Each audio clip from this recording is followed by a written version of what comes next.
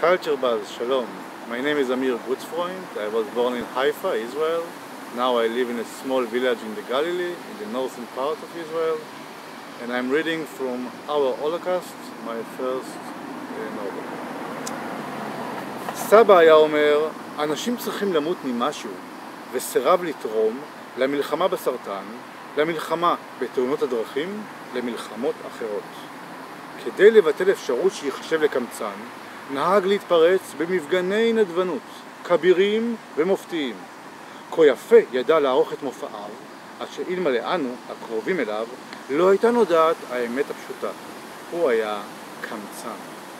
בתוך ביתו הייתה הקמצנות חוק עולם.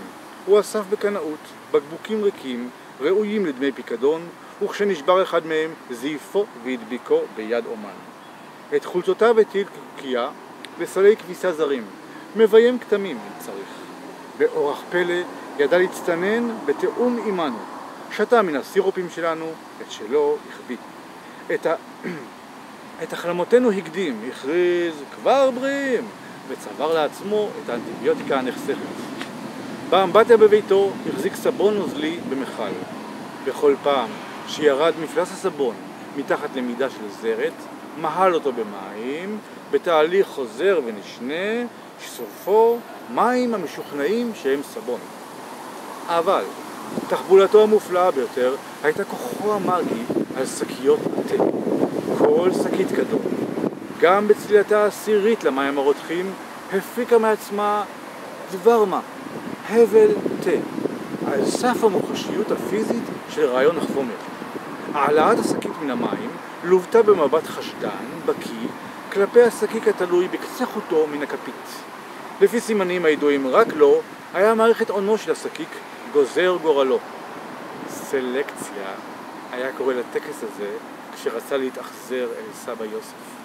חשדנו בו שגם בכלות כוחן של השקיות לא השליחן, אלא אגר אותן במקום סתר כדי לעשות לעצמו יום אחד מכולן מזרון חדש. חיפשנו אותן במשך כל ילדותנו, אך מעולם, גם בחיפושינו החטטניים ביותר, גם כשחשפנו את מכתביו לרקדנית ג'ויס, את חובו ליהודי המנוח פינקלשטיין ואת גזעת הקונדומים הפלאית, לא מצאנו אצלו ולו שקית תה אחת. שמחנו לעיתים להזכיר לעצמנו שהוא בכלל לא סבא אמיתי שלנו, קראנו לו סבא, סבא לולק, בזכות חוק הדחיסה של משפחתנו. פרי המצאתו המופלאה של דור השואה הראשון, הורינו. היעדר אחים, דודים, אבות ואימהות, הסיר את הצורך לדקדק. לכל מי שהיה מבוגר, בן דורם של ההורים, קראנו דוד. צאצאיהם היו בני דודינו. לא שהכל היה פרוץ, היו חוקים, כן? נדרשה התאמה בתחושות הקרבה בין כל הדורות, על מנת שיתאחה התפר הזה וכל פרט בו יוכל למצוא את קרוביו. נזקקנו ליחס רעות בדור ההורים על מנת לרכוש את בניהם, בני דודים.